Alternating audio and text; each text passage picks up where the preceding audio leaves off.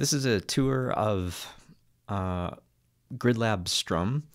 Uh, it's designed for use for a 256 or a 128 size grid. It's the top half of this 256 is what I call the playfield. It's designed to emulate a uh, eight string guitar if all the strings were tuned in fourths. So this uh, row down here would be the bottom lowest string, and this row up here would be the the top string you can specify what you want your your low note to be, and you can see these this pattern changing. It's showing you the the white keys and dark keys. Um, of, a, of a chromatic scale. So depending on what you have your low note set to, uh, you can configure that. Um, you can change the the brightness of the keys. So I, you know, the orange brightness doesn't necessarily match up to the brightness if you're using like the white LEDs. So that's all configurable. Um, so once you have some keys that are lit, then you can strum an arpeggio with the arc encoder. And it's velocity sensitive, so if you if you strum it fast, you'll get a you know a higher velocity. But if you go uh, lower, um, it will be lighter. Um, you can also change the velocity manually by moving this encoder. So you can play that uh, manually if you want. You can also change the duration of the notes that you're playing. Um, you can change the lit notes as you're playing them. You can turn off a note. And you'll note that there's um, only eight notes of polyphony, so it's not like it can have multiple um, notes fretted on the same string. So each one of these is an individual string. Um, you can have 16 different presets of configurations of the strings. Actually, it's four banks of 16, depending on how many banks you have selected or which bank you have selected.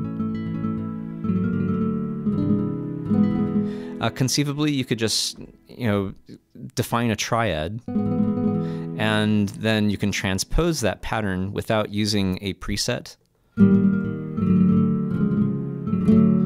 And because the tuning is in fourths, if you just move the pattern up a string, then it's going to move up to the four. And down a string is going to go, so you have a one, four, five. Um, you can transpose with the arc if you like which is fun for like um, really interesting arpeggios that move up the fretboard very quickly. If you double click uh, in this little cursor area, then you're gonna return back to zero. Now, um, you're not stuck with one arpeggio either.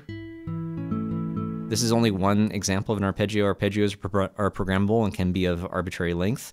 Uh, you can choose different kinds of arpeggios. So maybe now you'll note that when I'm moving the encoder, it's it's moving the arpeggio in a particular direction. If I move the encoder the other other the opposite direction, it's going to play that same arpeggio in reverse.